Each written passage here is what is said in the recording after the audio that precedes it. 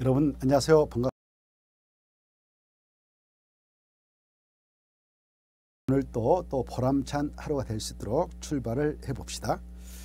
아, 우리가 지난주에 주택법상 주택조합의 일부를 정리하고 마무리 지었는데요.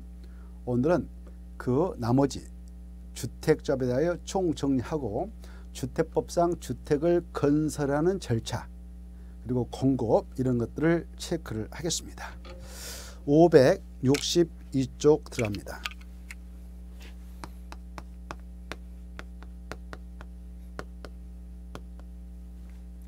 자, 주택법 나름대로 좀 관심 있게 정리를 해 두셔야 되는데요.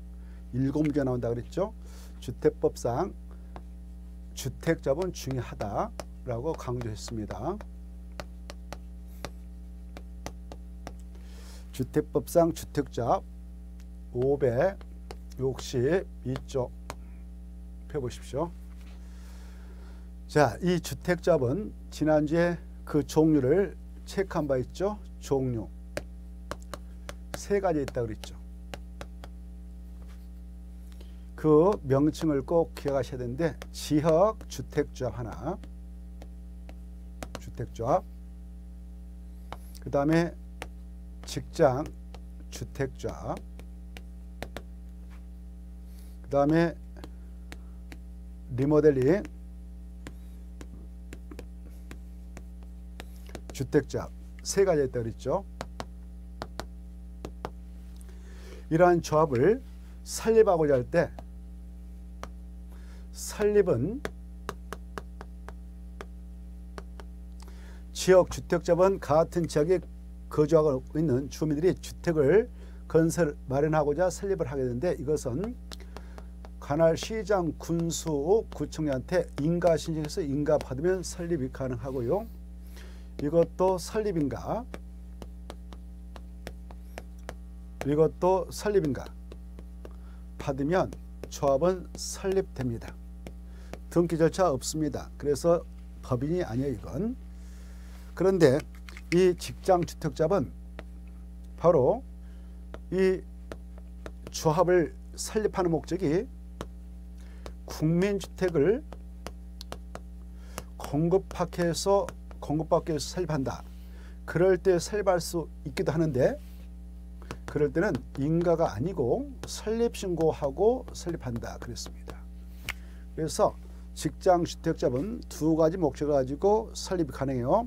같은 직장에 근무하고 있는 근로자들이 주택법상 사업계획 승인 신청해서 승인 받아가지고 주택 건설해서 주택을 마련하고자 설립을 할 수가 있는데 그럴 때는 설립인가를 받고 그냥 국민주택만 공급받자 그럴 때 직장인들이 직장 주택점을 설립할 수 있는데 그럴 때는 관할 시정 군수 구청장한테 설립 신고하면 된다. 이런 차이점이 있다고 그랬죠. 그리고 나머지 지역하고 리모델링 주택점은 설립인가 받으면 조합은 설립이 됩니다. 이런 걸 지난주 했고요. 그 다음에 이제 오늘은 그러면 이 조합을 설립하고자 할 때 이렇게 설립인가를 시장군수 구청장한테 시장 군수 구청장한테 신청해서 받고자 한다.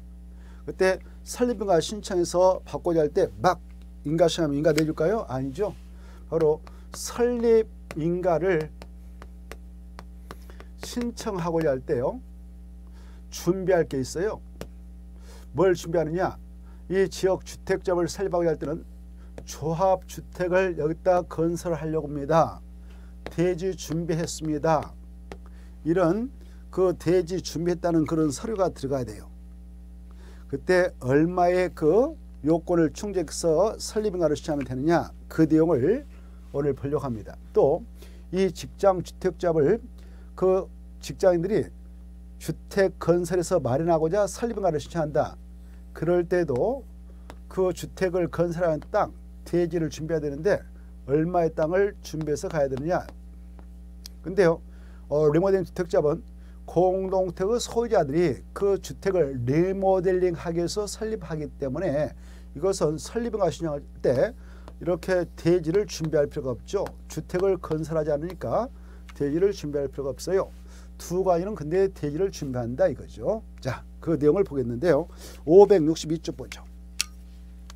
520쪽 보면 동그라미 1번 어, 지역하고 직장 주택자 설비 요건 해 가지고 동그라미 1번 지역 줄 것이고 직장 주택자 설립가를 받으려는 자는 해당 주택건설 대지의 80% 수치 암기가 돼요. 80% 이상에 해당하는 토지 사용권을 확보하라. 그래 이 대지를 준비해 가지고 그 땅에 대한 사용권은 사용권은 굳이 소유권까지 확보할 필요는 없어요. 소유권 확보를 줬지만 바로 이 땅을 준비했는데 땅 진도한테 일단 매매 계약 체결해서 매매 계약금을 먼저 10% 주고 나머지 잔금은 다음에 살림인가 받고 나서 우리 조합원들한테 돈 걷어서 주겠다. 이렇게 해서 미리 바로 계약금만 주고 땅 주한테 바로 사용 승낙서를 받아가지고 그걸 서류를 내면 조합설 민가를 내줄 수 있도록 하고 있습니다. 이걸 사용 권한이라 하거든요. 그때 이 땅 지인들한테 가서 바로 사용 권을 확보할 때 얼마를 확보하느냐? 80% 이상. 이 대지 지금 준비하게 되는 대지가 1만 정부터다 라고 가정할까요 1만 정부터면 이것은 80%는 8천 정부터죠 8천 정부터에 해당하는 그 땅에 대한 지주들한테 땅 지주들한테 사용 승낙서를 받으면 돼요 80% 이상의 그 사용권을 확보하고 사용권을 확보한데 80% 그러면 1만 정부터라면 이 땅이 8천 정부터에 해당하는 땅 진들한테는 사용권만 확보하면 돼요. 이것만 확보하면 되냐? 아닙니다. 바로 거기에다가 15%에 해당하는 그 내용이 나오죠. 해당 주택 건설 대지의 15%에 해당하는 토지의 소유권을 확보해야 된다. 오, 이거 이제 소유권까지 확보해야 되네요. 이거. 그러면 준비하게 된 대지가 1만이다. 그럼 1만 정부터 중 15%는 얼마예요? 1,500정부터죠. 1,500정부터에 해당하는 땅에 대해서는 소유권을 확보해야 됩니다. 8,000정부터는 사용 권한만 확보해도 되고 그리고 15%인 1,500에 해당하는 것은 땅값 다 주고 소유권을 확보해야 돼. 이 두 가지 걸 충족해서 설립인가를 신청해야 설립인가를 내주겠다 하고 있어요. 무슨 접과 무슨 접이 똑같냐? 이 지역 주택접하고 설립인가 받고자 하는 직장 주택접 똑같다 그 말이에요. 이 요건이 한 문제값이니까 잘 봐두시기 바랍니다. 이것은 설립인가를 신청할 때 내는 거예요. 설립인가 신청할 때요. 인가 받아가지고 이 인가 받은 내용을 변경한다. 변경을 신청해서 인가 받아야 되거든요. 그때는 이런 요건 필요 없습니다. 변경과 신청할 때. 그리고 목적 다 다스렸다. 이거 다 주택 건설 해가지고 조합주택 이제 어, 다 조합원들 나눠가지고 바로 목적 다스렸다. 그러면 조합을 해산하죠. 해산 인가를 또 신청한대요. 그때는 우리 계산 다 끝났습니다라는 정산서 첨부서 내면 되고 이런 요건은 필요 없는 것이죠. 이것은 설립인가 신청할 때만 내면 된다. 이렇게 이해하시면 돼요. 2번 또 중요합니다. 1번 중요하고요. 2번도 중요해요. 2번 보면 자 조합원을 모집해야 됩니다. 음, 설립인가 신청할 때요. 무조건 가는 게 아니라 이런 땅을 준비했고 우리는 여기에 지금 조합원들 이 정도 모집했어요 라고 바로 요건 맞춰서 설립인가 신청하는데요. 2번 보면 지역 주택자과 직장 주택자 아, 리모델링 주택자분요. 리모델링 주택자 만들 때 조합원을 모집하지 않아요. 이 공동주택 소자들이 지네들 소유하고 있는 주택을 리모델링해서 만드니까 조합원을 모집하지 않아요. 근데 지역하고 직장은 조합을 결성할 때 조합을 모집해야 돼요. 자, 지역하고 직장 주택조합은 주택조합 설립 인가를 받았다. 설립 인가 신청을 받았다.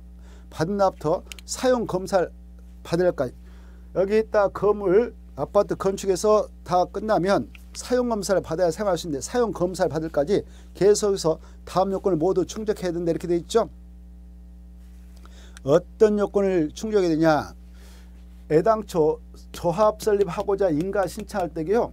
바로 여기다 천 세대를 건설하려고 한다. 그러면 주택 건설 예정 세대 수의 50%에 상당하는 그 수의 만큼 조합을 모집해야 돼요. 그러면 천 세대면 주택 건설 예정 세대 수가 천 세대면 천 세대에 50, 50, 500이죠. 500명 이상은 모집해야 돼요. 근데 여기 만약 주택 건설 세대수가 30세대밖에 안 된다 합시다. 그러면 그것은 50% 15세대죠. 근데 그거 안 되고 최소가 20명입니다. 20.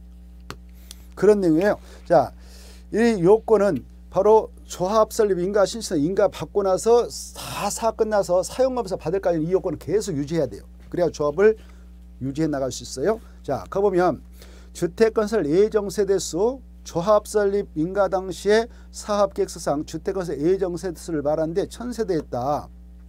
그렇다면 이때 이 주택 건설 예정 세대수 천세대를 계산할 때게요. 이 단지에 임대택을 100세대 넣는다.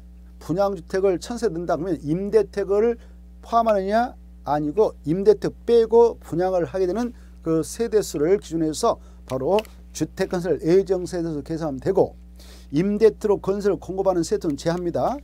그래 어, 그 주택건설 예정 세대수의 50% 이상으로 조합원을 구성하되 바로 2번 조합원은 최소한 20명 이상인다. 이걸 봐두시기 바랍니다. 다시 한번 이 조합설 민가를 신청해 나가올 때 조합원을 모집해야 하는데 얼마를 모집해서 구성해야 되냐? 주택건설 예정 세대수의 50% 이상으로 하되 최소한도 20명 이상 돼야 된다. 이런 요건은 인가 신청할 때 요건 충족해서 인가 신청세도 처음부터 냅니다. 그래서 요건 맞았다 그러면 설립인가 받아요. 인가 받고 나서 바로 이 조합원들 다 탈퇴해버리면 안 되고 계속 충원해 가지고요. 이 요건은 계속 유지해야 돼요. 유지. 유지해야 돼. 왜, 언제까지 유지해야 되냐? 여기다 주택건설 다 끝내고 나서 사용검사를 받을 때까지는 계속 이 요건은 유지를 해 나가야 된다. 이렇게. 자, 그 다음에 이 동그란 3 보면 이렇게 지역하고 직장 주택자 설립하고자 설립인가를 받고 싶다. 설립인가를 받고자 할 때 첨부해야 할 서류가 있어요. 설립인가 신청서에다 뭘 첨부서 돼야 인가를 받을 수가 있느냐. 박스 안에 들어가서 1번 중요하니까 받으세요. 1번 지역 주택자하고 직장 주택자부 설립인가 신청 시 신청서에다가 첨부해야 할 서류가 우리 창립총회 이렇게 했고 그 해로 이렇다. 조합정 선출 통해서 조합원 전원 자필 연명 조합 귀하 조합원 명부 사업 계획서 그리고 비흡이 중요해요. 비흡 해당 주택건설 대지의 80%에 해당하는 자의 사용권을 확보하고 해당 주택건설 대지의 15% 이상에 해당하는 토지 소유권을 확보했음을 증명하세요. 아까 이 서류 내야 된다고 했죠? 이거 이거 내야 된다고 했죠. 이게 중요해. 이것은 무슨 조합과 무슨 조합을 설립하고자 설립인가 신청서 낼때 첨부해서 되는가 지역하고 직장지 리모델링 주택자를 설립할 때는 이런 서류가 필요 없다는 것도 알아주셔야 돼요. 그 정도 보시고 근데 이제 만약 이거 설립해가지고 조합 설립해서 목적 달성해서 조합원들 다 조합주택 분양받고 끝났다 사업 사용검사 받고 다 끝났다. 그럼 이제 조합원들 돈 계산해서 마무리 칩니다. 그리고 조합 해산 없애는데 그때 해산 인가를 또 시장에서 구청에다 신청해서 인가받아야 정식 해산되거든요. 3번 봐봐요 해산 인가를 받고자 한다 그러면 무슨 서류가 들어야 되냐 해산 결의를 위한 총회 의결 정족서에 해당하는 조합원의 동의를 받은 정산서가 들어야 된다. 정산서. 이것도 처음에 나왔어요. 우리 계산 문제 다 끝냈습니다. 돈 문제 깨끗합니다. 라는 정산서가 첨부되어야 설립했던 조합, 해산을 하게 한 해산인가를 받을 수 있다는 것. 해산인가 신청서에 따른 바로 정산서가 들어가는 것이고 설립인가 신청서는 바로 정산서 필요 없다. 이렇게. 그 다음에 563페이지 563페이지에서 볼 것은 아까 했으니까 지난주에 했죠. 5번을 했으니까 통과하고 다음에 통과해도 되겠네요. 그 다음에 564페이지 564페이지 보면 7번이 보입니다. 자 이때 이 조합원을 모집해야겠다. 그리고 조합원은 어떤 요건을 갖추고 있어야 되는가. 아무나 조합원으로 들어오게 할 수는 없는 것이고요. 조합원 자격권을 따져가지고요.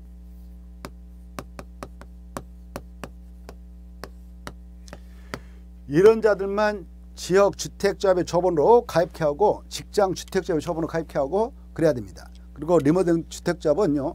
이 리모델링 주택조합은 공동특 소자들이 그냥 조합 만들죠. 그래서 공동특 소자들이 조합이 되고요. 다만 리모델링 결의할 때에 나 리모델링 공사비 낼 능력 없다 해서 결의에 찬성하지 않고 반대파들이 있어. 그네들은 팔고 나가라고 매도 청구서 보내니까 그네들 조합은 될 수 없습니다만은 그래 어, 공동택 소유라든가 그 단지 내 복리설까지 다 함께 뭐 상가라든가 어, 유치원 건물 이런 것들 복리설인데 이런 것까지 다 함께 하자 했으면 복리설 소유라도 어, 리모델링 주택조합에 조합이 됩니다. 그런데 이제 시험권으로서는 이 지역 직장 주택조합의 조합원은 어떤 자가 있냐 이게 이제 중요해요. 시험권으로서.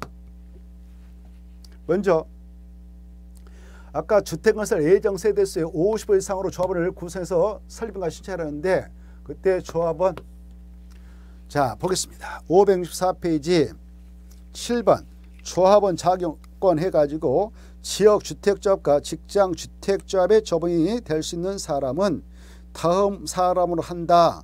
다만 중에 조합원 사망으로 조합원 지를 상속받은 자는 다음 같은 조합원 자격 요건 유무와 관계없이 무조건 조합원 지르신다.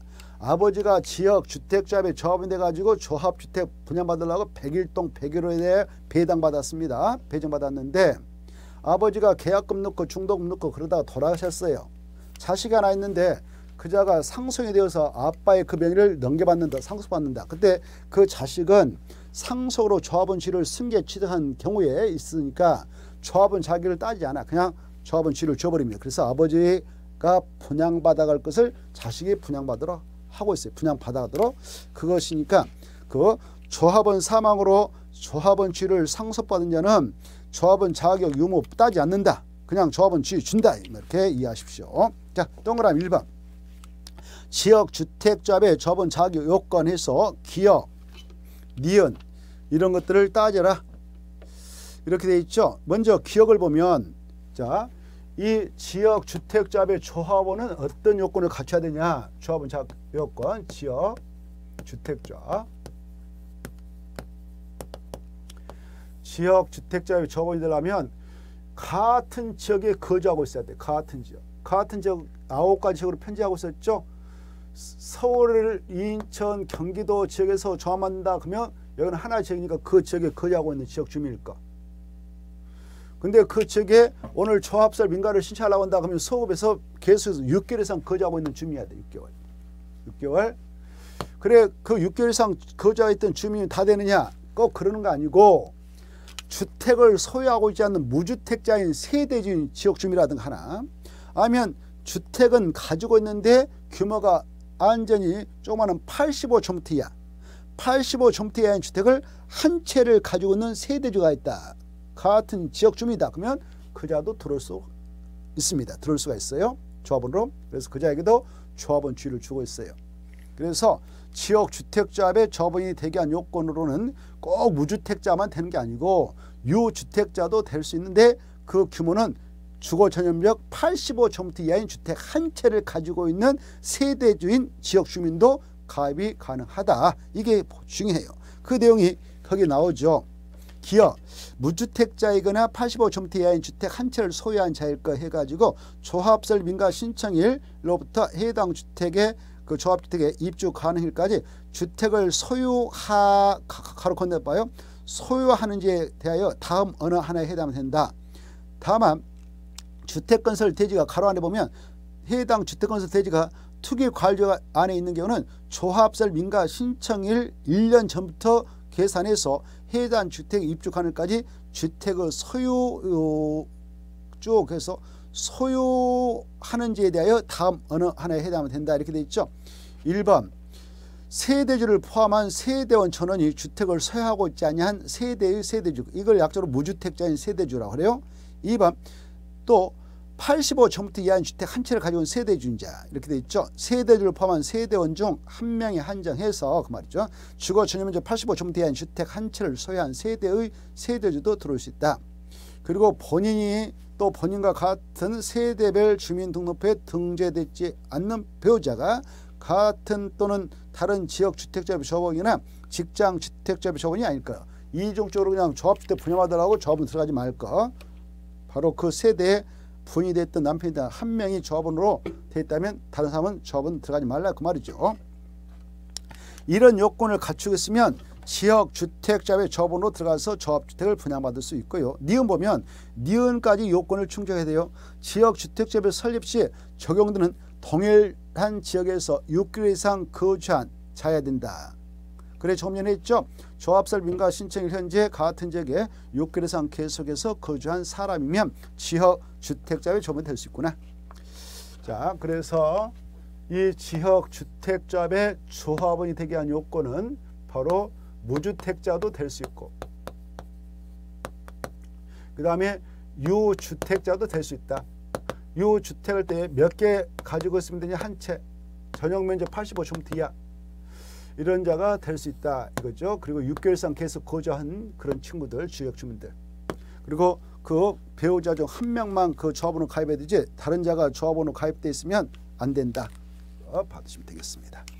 그 다음에 이제 2번 직장 주택자의 처분 자격권 자 이 직장 주택자업을 설립하게 될 때 주택을 건설해서 마련하고자 설립한다고 하면 설립인가 받아야 된다고 했죠. 국민택을 공급받기 위해서 설립할 때는 설립 신고하면 된다고 그랬죠. 이때 설립인가 받아서 직장 주택자업을 설립하고자 할 때 역시 주택건설 예정 세대수의 50% 이상으로 조합원을 구성하되 최소 20명 모집해야 하는데 그럴 때는 어떤 자가 조합원 자격권으로 어, 인정을 받을 수 있냐?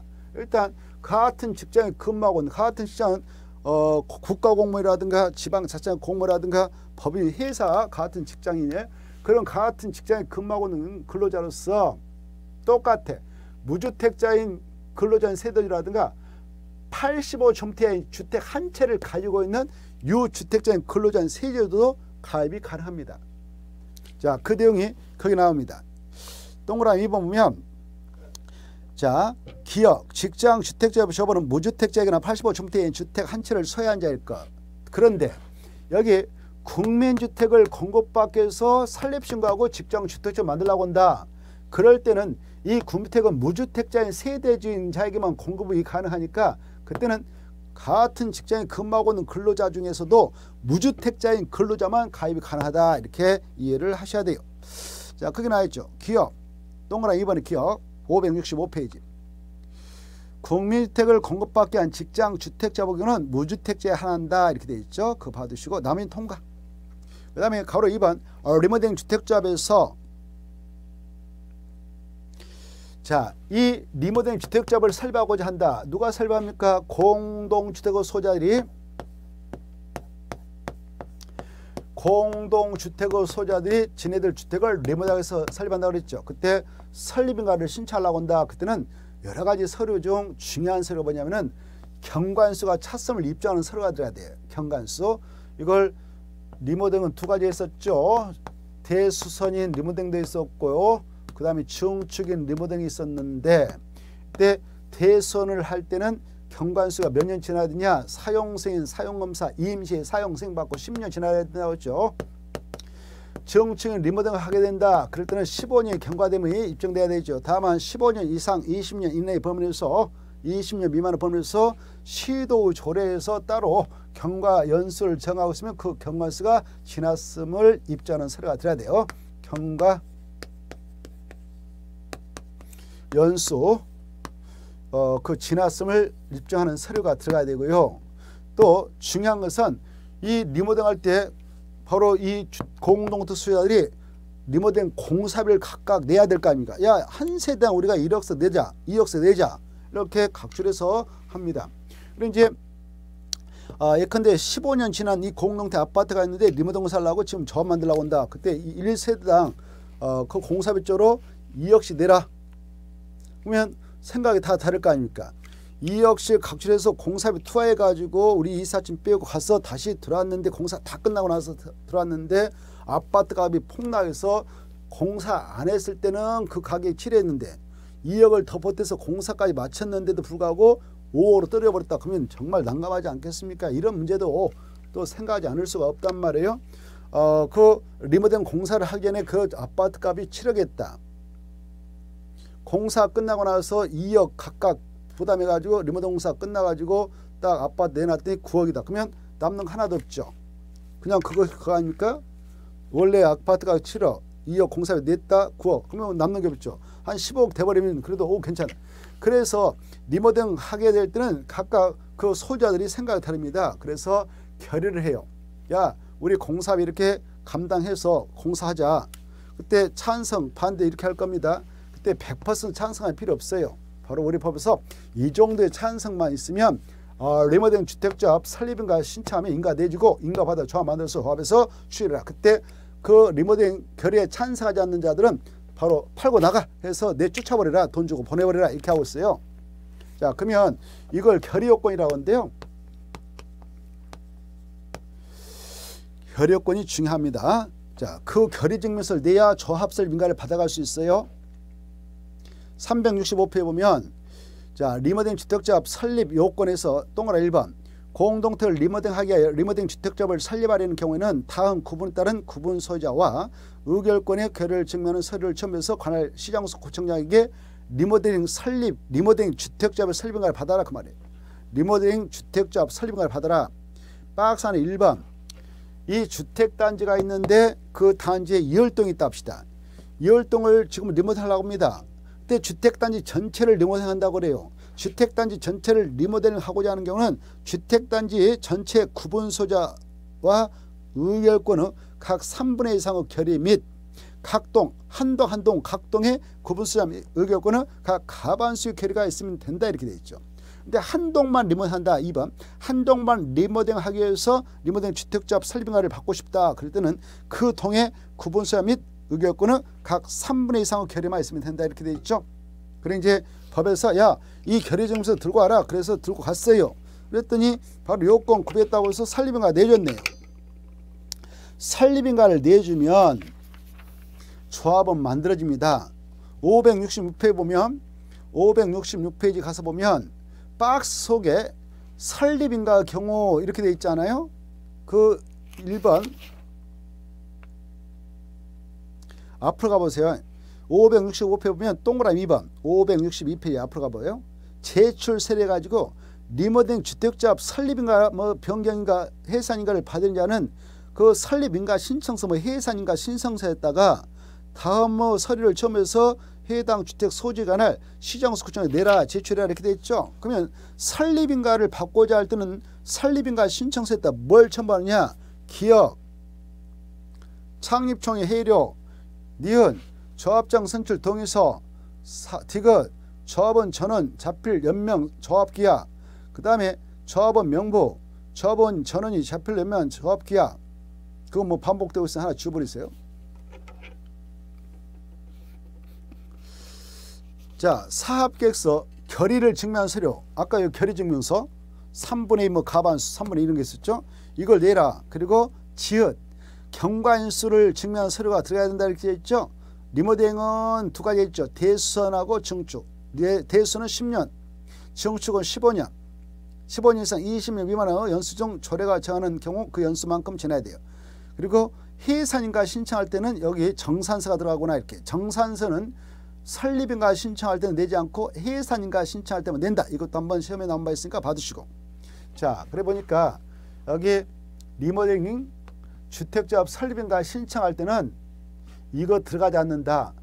해당 주택 건설 대단 80% 이상의 사용권을 확보하고 그 대지의 15% 이상의 소유권을 확보했다는 서류 내지 않는다. 이것은 지역하고 직장 주택자 설립인가 신청서 낼 때만 처음 보는 서류다. 어, 리모델링 주택자 설립인가 신청할 때는 이거 들어가지 않는다. 이게 중요하니까 이걸 꼭 구분하시기 바랍니다. 가로 3번 조합원 자격 있죠. 자, 이 리모델링 주택자의 조합원은 다음 어느 하나에 해당하는 사람이 된다. 그리고 이 경우 해당 공동택 복리설의 어, 소유권이 여러 명의 공유에 속할 때는 그 공유자가 10명, 10명을 대표하는 한 명만 조번으로 본다. 어떤 자가 조번이냐 사업계획서를 받아 건설한 공동택 소유자 복리스를 함께 리모델링 할 때는 그 해당 복리 소유자 리모델링 주택자비 조번된다. 뭐그 정도는 보십시오. 그 다음에 4번은 중요하다. 매도 충고. 아까 말씀드렸죠. 아까 어, 이 결의를 했습니다.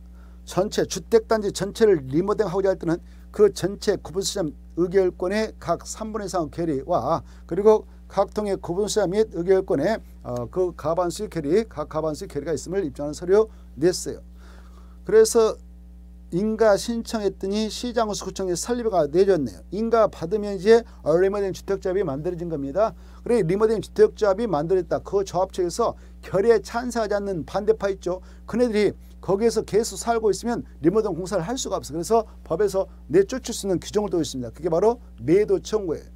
사고 팔고 나가라 이렇게 하는데 팔고 나가세요라고 요구도 안 들어요. 그러면 법원에다 매도 청구 소송을 내면 판사가 팔고 나가세요 하면 끝나버립니다. 이게 바로 매도 청구인데 가로 4번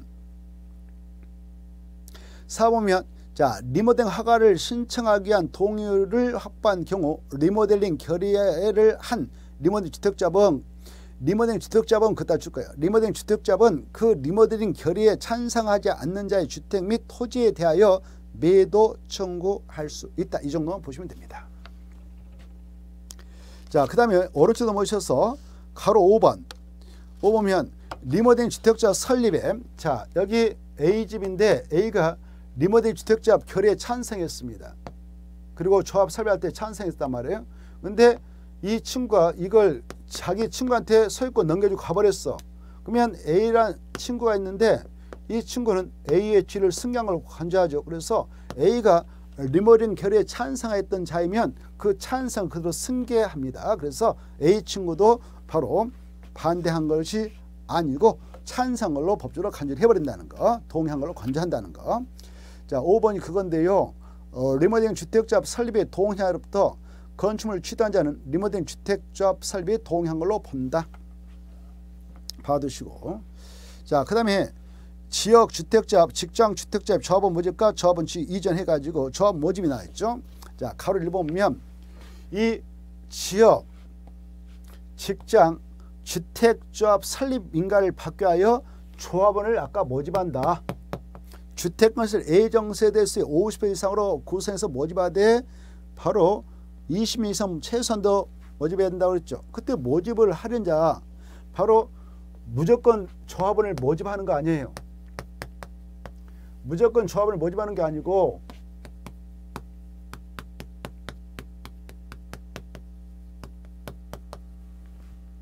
모집을 하고자 할 때는 요건을 맞춰가지고 법에서 정한 요건을 맞춰가지고 관할 시장 군사 때 우리 조합원 모집에 들어가고 싶어요 라고 모집 신고를 해야 돼요. 시장 구청장한테 그래서 그렇게 모집해도 됩니다라고 신고서가 수리돼야 정시 모집 공고에 들어갑니다 자 그러면 모집 신고서를 낼 때는 어떤 요건이 필요하냐 지금 주택 건설을 하려는 대지를 준비해서 그 대지의 소유가까지 확보하지 못해도 땅 주인한테 매매계라든가 이런 걸 체결해 가지고 사용 승낙서를 받아야 돼요. 그때 얼마의 사용권을 확보되냐? 50% 이게 나옵니다. 자, 음, 가로 1번 모집 신고에서 지역 주택자 또는 직장 주택자 설립인가를 받기 위하여 조합원을 모집하려는 자는 해당 주택건설 대지 50% 이상에 해당하는 토지 사용권을 확보하여 관할 시장소 구청장에게 조합원 모집 신고하고 모집할 때는 공개 모집의 방법으로 조합원을 모집해야 한다. 만약 공개 모집 이후 조합원 사망, 자격 상실, 탈퇴 등으로 인한 결혼을 충원한다든가 미달된 조합원을 재모집한다라고 할 때는 다시 조합원 모집할래요 라고 신고하지 않고 그리고 또 공개 모집할 필요도 없고 그냥 선착순 방법으로 조합원을 모집할 수 있다. 여기까지 받으십시오. 자, 그 다음에 이제 나머지 통과하고요. 통과, 통과해도 되겠고, 568쪽에 가로 4번 나있죠. 가로 4보면 조합원을 모집하려는 지역 주택조합 또는 직장 주택조합의 발기인의 자격 기준 어떤 요건을 갖추고 있어야 조합원 어, 주택자의 발견이 될 수 있냐 바로 박스 안에 지역 주택자의 발견 자격권으로는 조합원 모집 신고를 하는 날부터 해당 조합 설립 인가일까지 무주택자이거나 85제곱미터 이하인 주택 한 채를 보유하고 조합원 모집 신고를 하는 날 1년 전부터 해당 조합 설립 인가일까지 계속해서 지역 주택조합 설립 시 총리는 동일한 지역에 거주해야 된다. 이런 요건을 요구합니다. 그 정도만 받으시고 나머지 통과. 그리고 밑에 박스 밑에 보면 손이 있죠. 주택조합의 발기는 조합 설립, 조합원 모집 신고, 조합원 모집 신고를 하는 날 주택조합에 가입한 걸로 간주합니다. 그리고 이 경우 주택조합 발기는 그 주택조합 가입 신청자와 동일한 권리가 있다. 여기까지 받으시고 그 다음에 가로 2 보면 지역주택조합 또는 직장주택조합 조합원을 모집하는 자는 또 모집 대행하는 자 이네들 모집 주체라는데요. 모집 주체는 지역 직장 주택조합의 조합원을 모집하는 자인 모집 주체는 주택조합 가입 신청자 모집 주체와 주택조합 가입 신청자는 다음 사항이 포함된 주택조합 가입에 관한 계약을 계약서를 작성해야 합니다. 그래 이 주택조합 가입에 관한 계약서를 작성해야 한다. 이때 주택조합 가입에 관한 계약서에 포함할 사항은 박스와 같다. 이건 참고로 보시고 그 다음 6번을 볼까요? 이게 작년 재작년도에 법 개정을 통해서 추가된 건데요.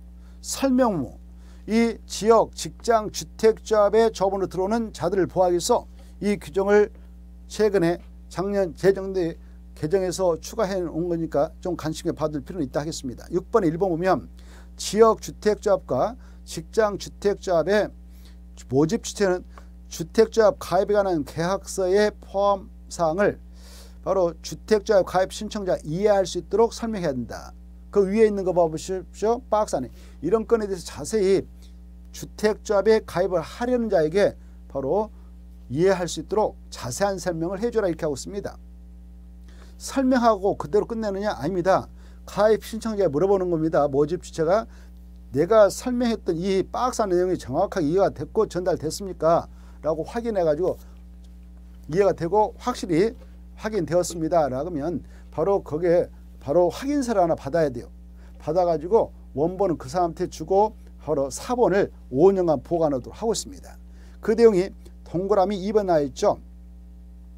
지역주택자과 직장주택자의 모집 취지는 주택자 가입에 관한 계약서의 포함 사항에 대하여 설명한 내용을 주택자 가입 신청자가 이해하였음을 서면으로 확인을 받고 그 말이에요. 확인을 받아 주택자 가입 신청자에 교부하고 그리고 그 복사본을 사본이라 하죠. 사본을 몇 년 동안 보관해야 되는가? 5년간 꼭 받으십시오.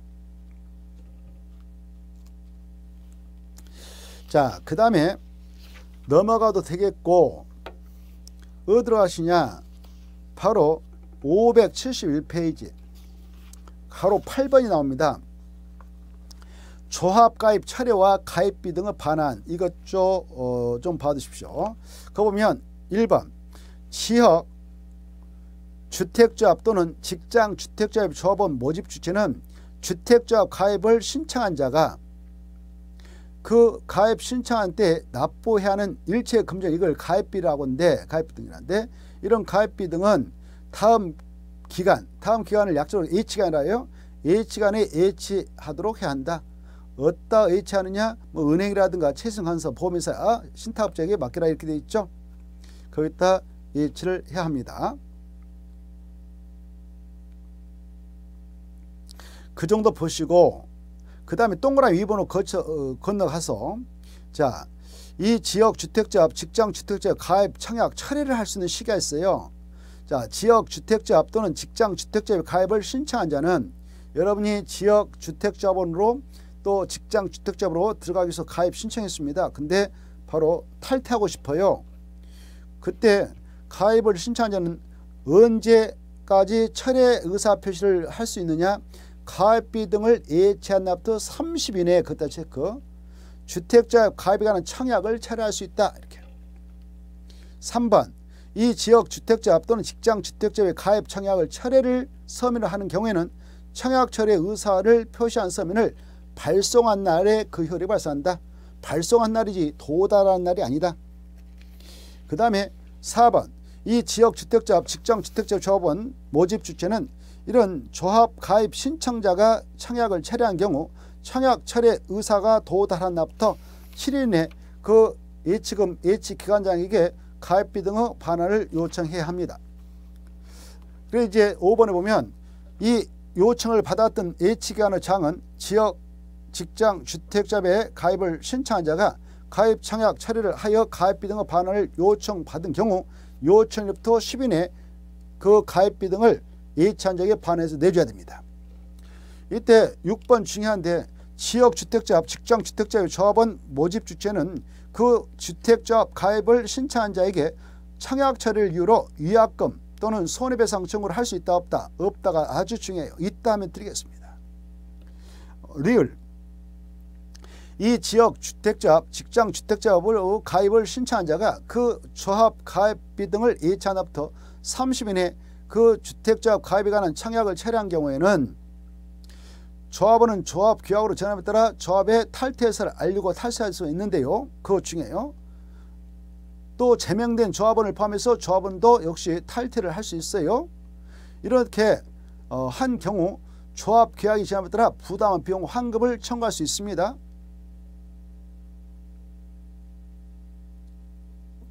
이런 규정은 이미 돈 내줬으니까 굳이 적용할 필요가 없겠죠.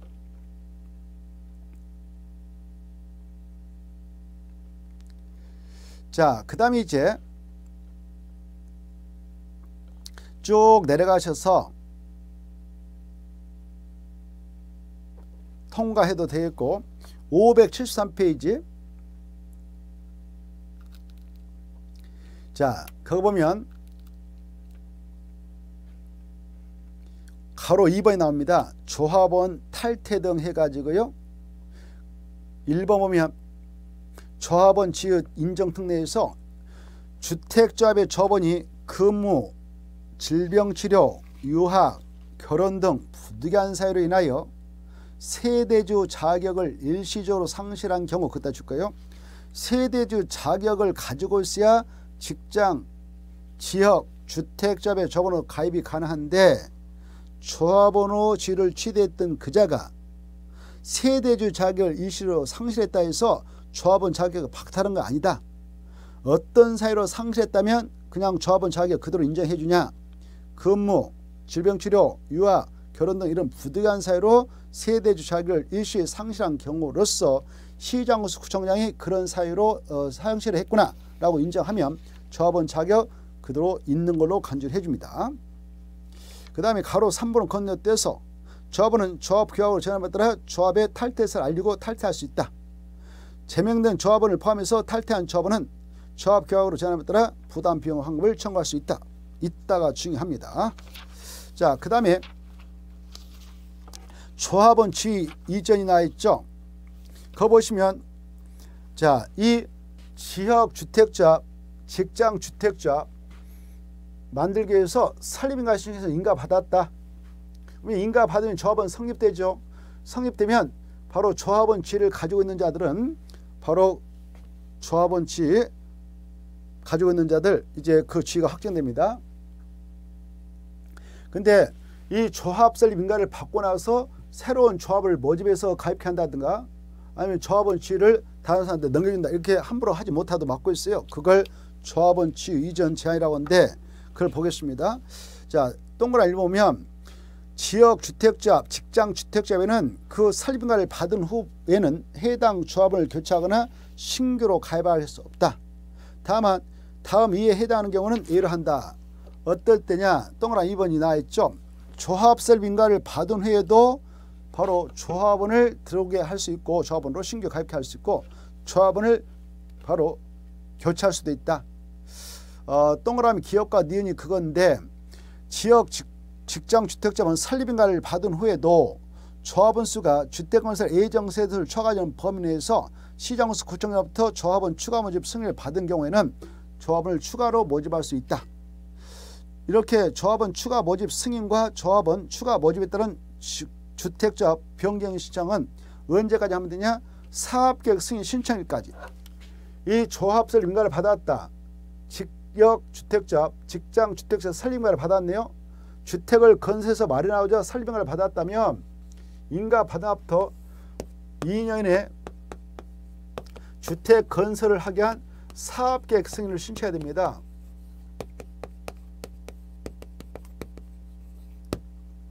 그래서 아까 조합원 추가 모집 승인 그리고 또 조합원 그 결혼이 발생해서 조합원을 충원한다.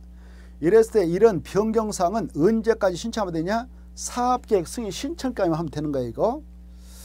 자, 니은 보면 조합원 충원에서 지역 직장 주택자원 설립인가를 받은 후에도 다음 사유에 해당하면 결혼이 발생하는 범위에서 조합원을 충원할 수 있습니다. 그래 박스 안에 들어가 보니까 어, 조합원이 사망했다. 그리고 사업계획 승인 이후 전매가 금지되는 경우를 제하고는 바로 그 지위를 넘겨줄 수 있어요. 조합원 탈퇴 등으로 조합원 수가 주택건설 예정세대 50% 미만으로 되었다. 그러면 더 50% 이상이 되 그럼 충분할 수 있습니다. 그 다음에 조합원이 무자격적으로 판명되어 자격 상실했다 그러면 더 충분할 수 있고요. 사업계획 승인 과정에서 주택건설 예정세수가 변경되어 조합원 수가 변경된 세대수의 50% 미만이 되면 50% 이상으로 해야 하니까 충원할 수 있다 이렇게 되어 있죠. 이와 같이 3번 조합 설립 인가를 받은 후 지역, 직장, 주택 조합에 조합원 후 추가 모집되는 자와 충원되는 자에 대한 조합원 자격 요건 충족 여부 판단은 언제를 기준한가? 그때 충원되는 시점이 이때다. 그러면 이때를 기준해서 그자가 그 지역에 6개월 이상 거주했던 지역 주민인가? 그걸 따진 게 아니라 바로 애당초 설립인가 바꿔야 되었을 때 설립인가 신청 기준에서 조합원 자격요건을 따지는 겁니다. 조합 설립인가 신청 기준에서 따진다 이게 중요해요. 조합 설립인가 신청 기준에서 따진다. 그 중요하고 그 다음에 575회 보면은 조합 총회 나 있죠. 1번 조합 총회 의결을 하는 경우 조합은 10% 이상이 100분의 10 이상이 직접 출석해야 한다.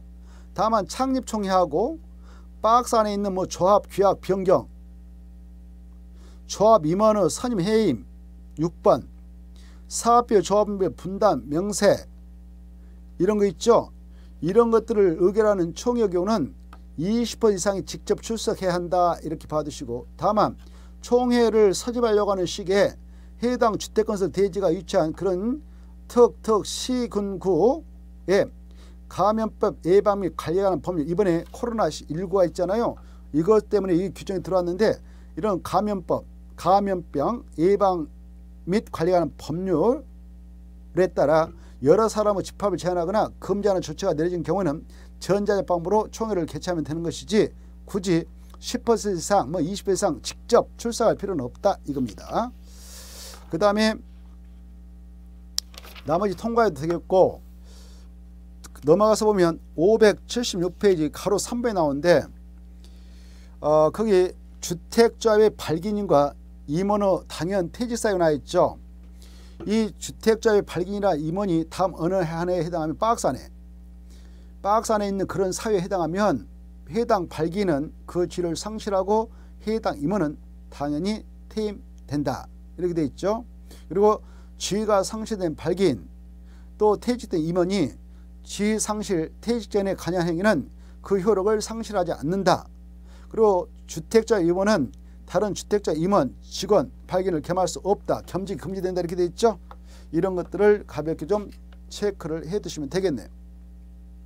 그 다음에 4번의 1번과 2번도 조금 봐주셔야겠는데 주택자의 해산 등 해가지고 주택자본 설립인가를 받은 앞부터 3년이 되는까지 자 이렇게 설립인가를 받아갔다 설립인가를 받아갔다 그날부터 늦어도 2년에 사업계획서를 신청해라 그랬어요.